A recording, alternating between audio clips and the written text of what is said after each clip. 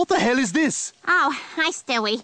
We were just leaving. I say, what the devil is all the fuss about? I don't get it. What's in there? Bing bong! Hello! Farewell, Brian. I'm off to sea. An hour from now, I'll be surrounded by seamen. Sperm whales and seamen.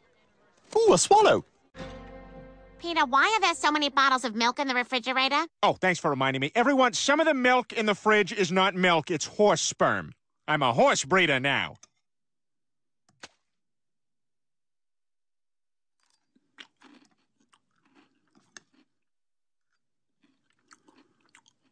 No, I wasn't. I was at the carnival with Rupert. Ah, the carnival with Rupert.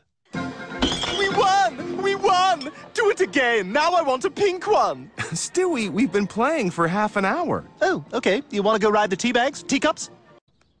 You'll be a wonderful lover, Brian. What are you doing? Oh, sorry, you, you just had a little, uh, something.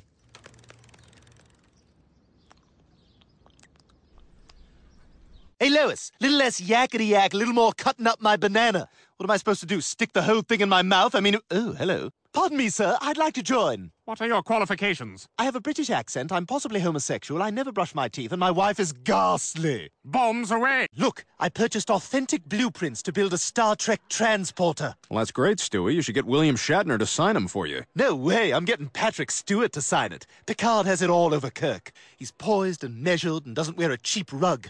Rather, he accepts even baldness with a quiet cool that says, I am in command. You are safe with me. I will cradle you in my arms through any crisis in any galaxy.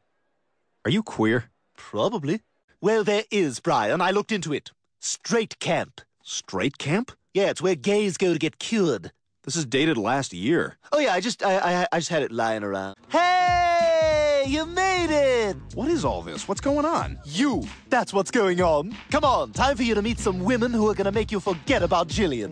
Uh, looks like there's a lot of gay guys here. Yeah, everybody's having a good time. I can't believe I agreed to four costume changes. Oh, who am I kidding? I insisted on it.